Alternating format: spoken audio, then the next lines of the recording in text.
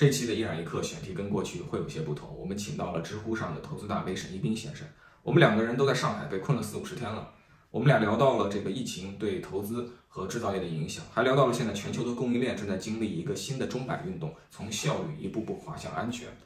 而且比起大家都认为非常严重的半导体问题，我们还看到了一个领域可能存在更严重的、更大的危机正在酝酿。哎，沈兄好。你好，依然。哎，这个今天呢，欢迎你做客依然一刻。今天想跟沈兄一起来聊一聊，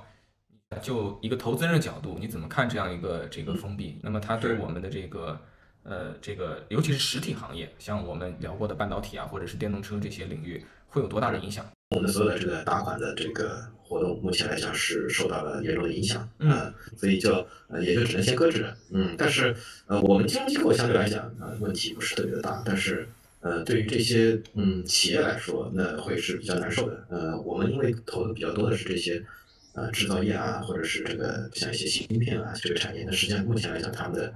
压力都是非常大的。一方面呢，是来自于这个存量现金的快速的消耗，因为现在的这个物流它没有办法很快的去把他们生产好的产品出运出去换成现金。嗯啊，那么另外一方面呢，是来自于这个呃员工的这些固定支出，你的啊呃尤其半导体，大家知道这个洁净厂房的平时的运作，它是不断的会烧钱的。对啊，然后还有账面的这个那是现金支出啊，你的电费啊，你的这个这个超净的这些设备的运转，然后你的这些水超纯水的这些运转。那它都需要维持这个厂房的这个洁净度，否则你一旦厂房污染了，你的这个产业就报废了。所以说这个封闭让我们的生活慢节奏了，但其实厂房它是很难彻底停下来的。它是不能停，它是不能停，不是很难停，一旦停了，这个公司就完蛋了，是是不能停。哦，那这个比汽车还严重啊！汽车是停线有代价，但是还是可以停线的。那照你这样说，半导体连停线都不能接受？啊，呃，是这样，就是说它的这个厂房的洁净度必须维持。嗯。就是说，呃呃，产线你没有东西，当然没有办法生产。但是你的这个超净、超净的这个环境，你的空调、你的这个化学过滤器，用化学过滤器那些空调，你必须维持一个。明白。啊，因为你如果不进行这个持续的净化的话，它的也会从一些各种缝隙里会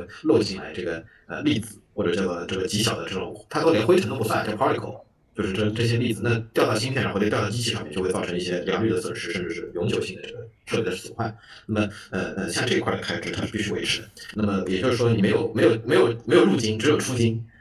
啊，那整整个企业的现金流会非常的紧张，这是第一点。啊，第二点呢，就是说，同样也是因为物流的这个封锁，那么啊，供应链会变得非常紧张。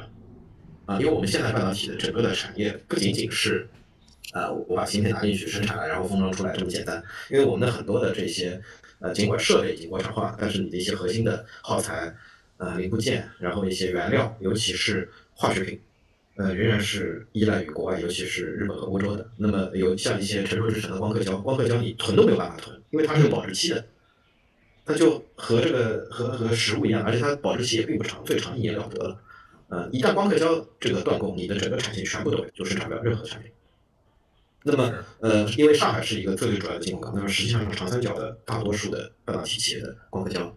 以及其他的一些像特气啊，像一些这个啊显影的这些药水啊，它其实都是由上海进口的。那么上海的这个物流封港停运以后，那这些半导体厂实际上它的安全库存很快就可以很快就会告急，甚至啊，那么从封锁到一个月之后，呃，如果再封啊。有些厂，有些小厂肯定已经是停工了，这个我知道。也有一些大厂有可能，如果说得不到呃这个物资的持续供应保障，如果你又不在上海的话，是很有可能呃停产。对，就这事儿，我其实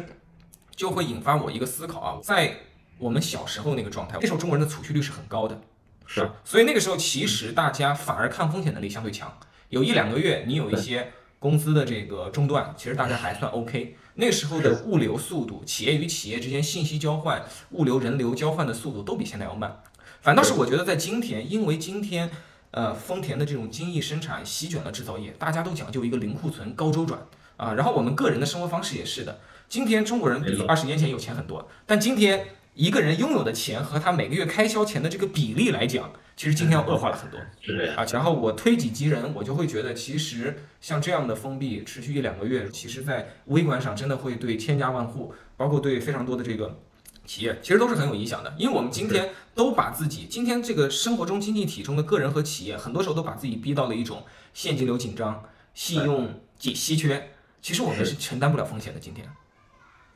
是的，因为我们过去的这个几十年，其实，嗯。从整个供应链的角度来讲，呃，您可以看到一个呃这样的一个情况，比如说像在十几年前，我们能看到很多个品很多个国家都能够造自己的车，是，呃，意大利能够造车，啊，然后这个呃西班牙可能都能造车，西班牙可以西班牙可以造车，对甚至呃荷兰应该还出过还出过自己的完全自己研制的飞机，但是现在这些都消亡了。因为我们的产品的复杂度，我们终端产品，尤其是呃芯片引进到整个的工业产品大规模应用之后，呃，我们的整个的产业的这个链条就变得越来越精细，越来越长。任何一个国家都没有办法独自的去完成从头到尾所有的这些东西。那我就说半导体，半导体其实只是到一个原料，其实是下游的这个工业产品的一个原料。那么它再往上，它是这个半导体这玩意儿，它本身就是个几万亿美元的一个市场。对，材料、设备，然后这个制造、封装，然后最最上面还有一个设计，迭代整个全过程当中还有一个设计。那么这么多环节在里面的话，呃，其实没有任何一个公司它能够独自完成从头到尾的所有。是的，所以我其实想打一个比方，我觉得现在的状态就好像踢足球啊。这是个过去我们踢足球的时候，一个标准的出场阵容经常是首发球员是十一人，然后替补球员还坐了七个人，所以这就保证了说十一个人当中，就算有人受伤了，替补球员马上就顶上。我觉得今天的这个全世界的供应链就好像是，如果把一个公司比喻成一个球队的话呢，你自己首发是十一个人，然后你替补席上就坐俩人，然后一旦你有几个环节是比较麻烦，你真的没有人可以换，你只能以少打多，或者你让后卫去当门将，然后你这时候呢就得总经理拿着一个这个支票，全世界去找替补球员，赶快把他买过来，然后想办法做交易、做流程。所以这就是世界的这个产业，就像这个一个钟摆一样，一头是极度的安全，所有东西全部都自己做；另外一头就是极度的效率，你只做你价值最高的那一端。那么现在这个钟摆已经从这个效率的这一头已经开始往下走，开始往安全的那个地方在摆。那么从背后，它实际上是一个全世界的这个产业链已经被。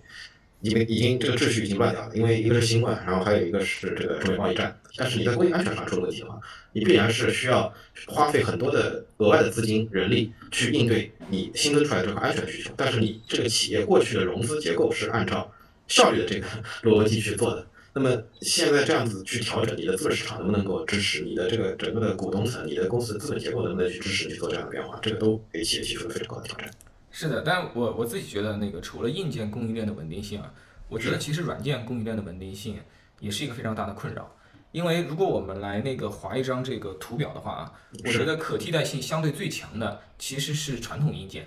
然后到了半导体这类硬件上，它可替代性其实就会比较弱，因为半导体它是非常容易强者恒强马太效应的，所以它的产能集中度非常非常的高，甚至出现了台积电这样的巨头，它一家可能在它的工领领域里价值链里，它可能占了全球非常非常大，甚至大概一半的这个份额。但是如果我们再往上看，看到这个软件层面，我觉得实际上这个隐患是更大的。像 iPhone 这个玩意儿，这个东西现在全球的两大技术分支就是苹果的系统和谷歌的安卓系统，就这两大。一旦你跳出了这两大，其实这些消费品的发展就会非常的困难。华为的例子就摆在这里，对吧？所以我觉得就是现在由于我们比较复杂的消费品都是硬件，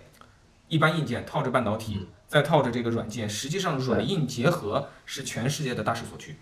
所以在这时候，我觉得完全不只是硬件供应链的安全问题，实际上软件供应链可能会是一个更严重的问题。只是新冠这次暂时没有把软件的问题暴露出来，软件供应链安全问题被我们中国人看到，其实更多的是华为事件啊。但是以后说不定还会有第二个华为事件，第三个华为事件，所以我觉得那个时候可能带给大家的冲击会比现在的新冠更严重。是那其实软件比硬件更难做，因为一个运行非常好的系统，一方面你要叫大家去接受它，这个呃，首先它的开发成本非常高，其次呢就是你做的越早，大家越已经有了一定基础以后，这些用户给到反馈能够快速的去迭代改进以后，你就能够拥有更多的客户，这是一个极强的一个马太效应，这就是所谓的平台和生态。那么呃，这些软件，尤其是工业软件的生态是极其封闭的。这些工业软件的这个生态，它实际上不仅仅是说我是一个代码，我是一个控制逻辑，它更多的是一个过往经验的积累。这过往的经验的积累，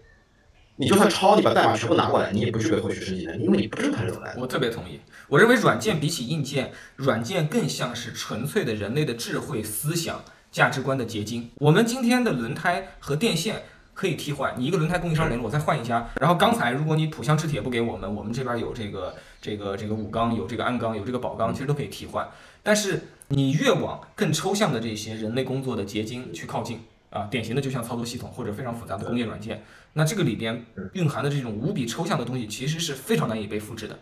对吧？就像你说的，所以的话，它最后导致的结果是，如果你占据了这个生态链的这个上游，实际上你对于向下的各路硬件和原材料，其实在产业链上你的这个地位可以说是叫一览众山小，实际上它是一个比较统治级的地位。非常难看。现在半导体里面它就有这个设计软件叫做 EDA 嘛，因为 EDA 它已经发展成为了一整套的这个逻辑，就是说我怎么样去。排布我的整个的版图，它的这一套模拟以及这套测试的这套流程，以及呃我们的芯片当中其实也不一定所有的都是自己的，它可能会需要购买一些比较成熟的其他人的这个局部的设计图作为一个 IP。那么这个 IP 实际上它还承担一个 App Store 的这个呃这个功能。那么呃而且这个 EDA 呢，它还是和晶圆厂，就是和台积电啊这个这些晶圆厂是深度绑定。我们一旦离开了这样的这个软件以后，那就生产不出来芯片。这让我想起当年的一个一个往事。那时候我还在东风日产工作的时候，我们有一个同事，呃，是一个前辈，他是比较优秀的工程师，就派到日产去工作。回来以后呢，就跟我们讲，他说，其实，在日产工作，站在十十多年前的角度啊，那时候觉得日本是先进的汽车大国，中国的汽车工业那时候还是比较薄弱的，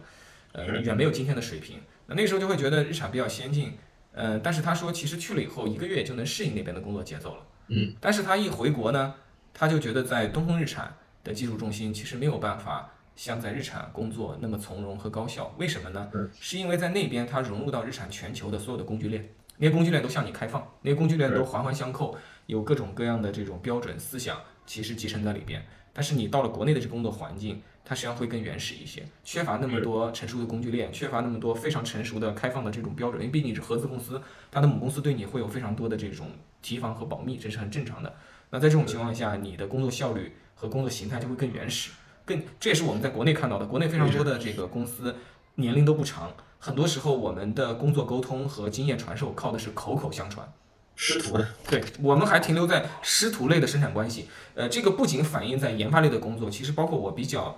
熟悉的品牌传播这类的工作，也出现了一模一样的现象。你在这个一个更典型的这种国际大公司工作，它可能没有中国公司那么九九六那么拼。但是由于他把长期的一些价值观和思想和方法论沉淀到了一些工具和一些标准上去，所以导致了即使是一个新员工进入组织，他是比较容易适应的，也能够比较从容的工作。相反，在中国大家会很忙，但实际上我们过于依了依靠口口相传，又由于中国的这个员工离职率变化率其实是比较大的，这就导致了每一次员工的离职，其实就导致了公司的这个大量思想和智慧就流失了。对。如果把企业比作一个记忆体的话，那么我们留留下来的这些操作经验，它实际上就是这个这个这个生命体的一个记忆嘛。那么，呃，如果有一个办法能够，就相当于如果你有一套软件，就相当于把你脑子里东西写下来了，那后面就算你死掉一两个脑细胞啊，你还是在看到这个东西的时候，你还是能想起来。啊，但是如果说你是一个师徒制的公司的话，呃，实际上当人离职的时候，这公司一部分也就也就带走了。实际上我们现在做早期投资的时候，我们也不看公司的财务报表，最后还是看人嘛。明白。最最终而言，企业还是人的组织。那么你怎么样去把组织的这个经验去留下来、传承下来？那是一个其实对任何企业来讲都是一个呃非常就把它的这些知识结构化、可检索，呃，都是一个非常非常艰巨的一个挑战啊。那当然来讲，我们这个行业是最最最非标的，所有的经验很多都是。无法言传的，他可能都是一些经验型。你可能换一个人，他的个性跟我跟跟跟我们跟我们几个不一样，那也未必他就能够融入到我们这个这个机器来。这个本身是一个很很很重要的一个课题啊。你是否还像我们上次见面聊天那样看好中国这个半导体的这个追赶和后发优势啊？嗯，这个问题上次我们聊过这个问题，然后当时你是比较乐观的，我印象非常深刻。对，对我其实目前仍然保持谨慎的乐观。对我一直是非常谨慎的，对。嗯，我我我对这个我对中国的这个半导体产业仍然是谨慎乐观，因为因为不仅仅是呃经济的需求，呃半导体仍然是一个安全品。嗯，呃我们现在的所有的国防啊，我们现在的这些就涉及到核心的民生的这些战略，比如说啊我们日常所见的这个电表、水表、煤气表，大家可能从来都没有想过这里面也有大量的芯片，尤其是通信芯片，但是以及它中间的这些控制芯片，如果说完全由外国人来控制。嗯，我觉得就从目前我们能够看到的一些冷静计划呀，从这些计划，我觉得美国人对信息系统的这种标准的掌控，以及它的这种对方方面面这些核心基础设各个国家核心基础设施这种渗透是，呃，我不能说这个一定存在，但是它的威胁是真实存在的。那么国家存在的第一。第一的诉求其实是安全，然后其次是经济。那么它是首先它是一个集体安全组织。那么为安全，既然如果说它在接下去成为一个更加显现在外的一个逻辑的时候，那么呃半导体的这个产业它的发展趋势仍然会改变的啊，尤其是国防和基础民生。然后我们如果说呃希望去对美国的这种对美国的这种未来很很有可能发生的进一步的技术上的限制，以及阻止你的高科技发展的这种威胁，那么我们必然去发展属于我们自己的整个的半导体生态链。如果说没有这种越来越对安全的这种重视的话，实际上中国半导体产业是没有机会的，因为我们整个的风投的产业本身。就是从伴随着硅谷的成长而起来的，因为半导体企业的特点就是说，啊，它前面是没有任何的收入，它必须在整个芯片制造完成之后，前期投入极大，整个芯片完成之后，啊，我才能看到这个东西到底成功还是不成功，点不亮，这公司就挂掉了。那么实际上要承担极大的风险，啊，整个风险投资机构其实就是伴随着半导体产业成长起来。但是你看到，呃，二零一零年之后，啊，实际上在美国的半导体产业当中，更多的发生的是并购。它的新成长起来的半导体企业已经极其极其的少，尤其是 IDM 这种重资产投入其实非常少，但是在中国非常多。为什么呢？人家已经这么这么完备了，我们为什么要去发展呢？我们为什么要去挑战人家？因为我们的芯片的终端客户对国产化有要求，所以我们要对上游进行，我们对芯片的设计，半导体下进行精细投的主要是设计。啊，我们可以利用现有的国际基础的设施，但是我的中间的逻辑是可信的。好，现在我。美国对我的供应又产生了威胁，那么我们的半导体大基金二期，那就是对材料装备进一步的去做国产化。那么我们的一些核心的器件，比如说像我们的这些军民两用的一些一些一些芯片和器件的话，它必然也会有很多的国产化的机会。而且，呃，中国的这个市场，呃，是足够大的，它能够养活，我觉得至少到目前的成熟制程为止的。全套产业链，但是如果要到高端制程的话，我觉得整个的中国市场可能要去支撑这个市场仍然是非常吃力的。我们必须去寻找海外市场，市场自己的海外市场。如果没有中国产业的足够的海外的市场去支撑我们的支支撑我们的利润，没有足够的力量去做研发的话，我我相信这个 EUV 是很难搞出来的。而且人就算我们搞出 EUV 的时候，这个所花费的时间，别人可能也会有更先进的技术出来。但是你要保护自己的海外利益，那我们就得造舰了。所以这个逻辑都是一环扣一环的。对，而且你要在海外能够渗透你的半导体，首先你得渗透你的消费品。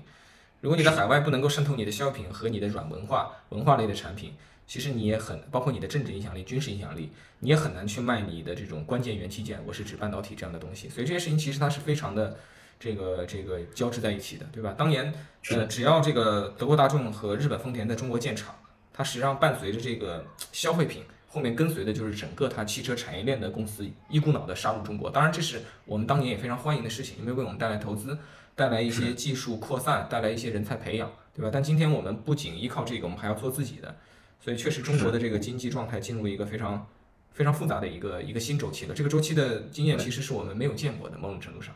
这是我我我作为一个汽车从业者，我是这么来看这件事情的。那这期的一言一刻就到这里。通常我在结尾不会说什么，但这期还是想跟大家啊讲几句。呃，其实这个节目正在打造成型的过程当中，非常渴望各位读者朋友能给到我一些反馈。呃，你喜欢什么样的嘉宾？你想要听什么样的选题？你觉得我们哪里做的还不够好？那我会认真的听取你们的意见。呃，此外的话呢，如果你能够点赞、分享、关注和收藏的话，对我是非常大的肯定和鼓励。谢谢大家。